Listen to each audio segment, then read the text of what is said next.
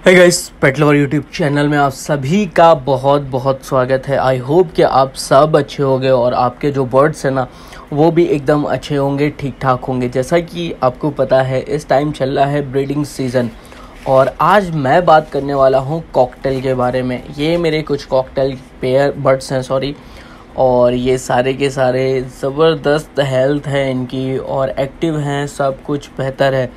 Birds का सबसे important part होता है उनका जो है ना, जो हम फ़ूड उनको जो खाने के लिए देते हैं वो। और दूसरी जो सबसे इंपॉर्टेंट चीज़ होती है वो ये कि आप इनका किस तरह से ख्याल रख रहे हो। अगर आप इनको सिर्फ़ काकून दे रहे हो खाने के लिए तो आपके बर्ड्स भी सिर्फ़ आपकी ही तरह पतले, दुबले और एकदम वैसे होंगे। लेकिन अगर आप इनको तरह तरह की डाइट खिलाते हो तरह तरह की चीज़ें इनको जो ये खाते हैं इन्वायरमेंट में वो सारी चीज़ें अगर आप इनको देते हो तो आपके बर्ड्स एकदम हेल्दी रहेंगे, अच्छे रहेंगे और बेहतरीन ब्रीड भी करेंगे।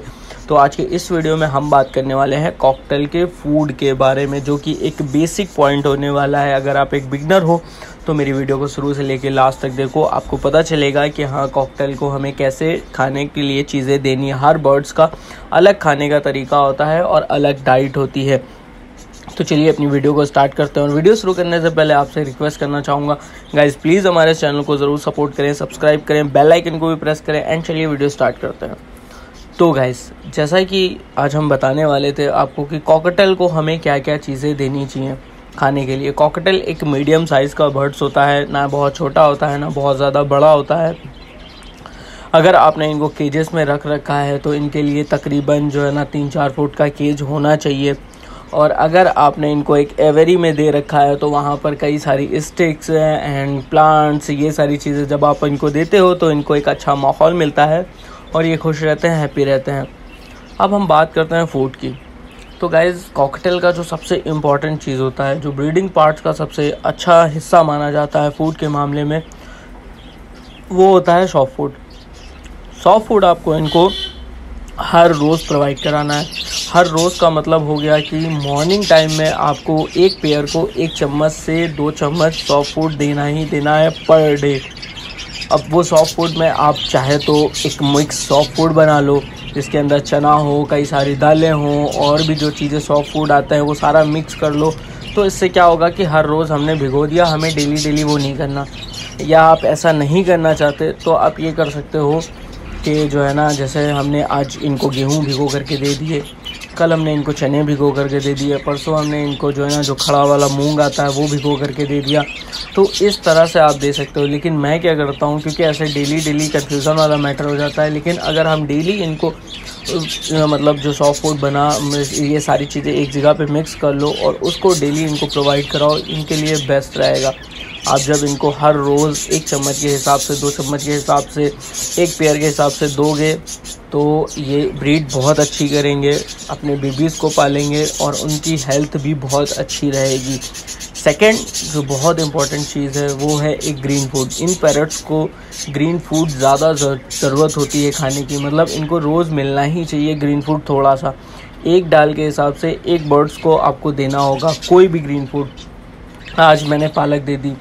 कल हम क्या करेंगे? कल हम इनको जो है ना, धनिया दे देंगे। परसों हम क्या करेंगे? इनको जो है ना, कोई और ग्रीन फ़ूड काट के दे देंगे, खीरा काट के दे देंगे, या फिर जो है ना जो भी सब्ज़ियाँ वगैरह होती हैं, वो काट करके थोड़ी बहुत डाल देंगे, जो ये खाते हैं। क्योंकि हर बर्ड्स जो है ना, हर चीज़ नहीं खाता। अगर आपने इनको रख रखा है तो आप जो चीज़ें इनको देते रहोगे धीरे धीरे करके आदत पड़ जाएगी। और अगर कोई ये बोलता है कि भाई मेरे पेरेंट्स जो है ना ग्रीन फ़ूड या सॉफ्ट फ़ूड नहीं खाते तो भाई दो तीन दिन, दो दो तीन दिन बाद आपके बर्ड्स खाने लगेंगे। ठीक है, ये हो गया।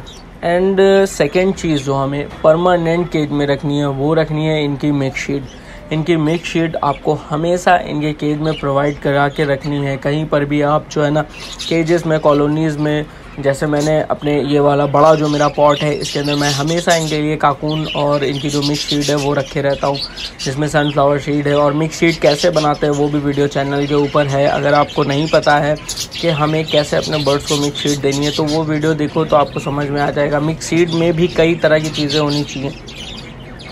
तो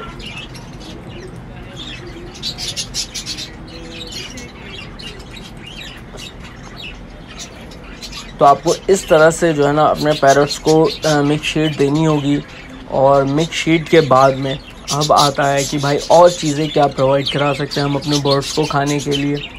तो भाई ये जो भी चीज़ें आप इनकी आदत डालोगे सपोज़ दैट आप इनको एप्पल खिलाना चाहते हो तो जब आप इनकी एप्पल की आदत डालोगे तो ये एप्पल भी खाना स्टार्ट कर देंगे। आप इनको बनाना खिलाना चाहते हो बनाना की आदत डालोगे तो ये बनाना भी खाना स्टार्ट कर देंगे। लेकिन स्टार्टिंग में थोड़ा सा आपको मुश्किल आएगी। थोड़ा सा जो है ना वो होगा, दिक्कत आएगी, आप जो है ना नहीं खिला पाओगे।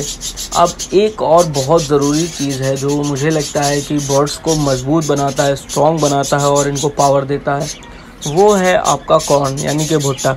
तो भुट्टे का सीज़न चल रहा हो, है ना? तो उस टाइम क्या करो आप इनको जितना भुट्टा दे सकते हो मतलब एक दिन हमने एक भुट्टा डाल दिया, उन्होंने खा लिया, ख़त्म कर दिया। दूसरे दिन हम आए, दोपहर का टाइम है, या मॉर्निंग टाइम में जैसे हम सॉफ्ट फ़ूड दे रहे हैं, और उसके बाद जैसे बारह बारह बजा, दस, एक बजा, तब हम क्या करें कि हम इनको जो है ना, एक कॉर्न दे दें।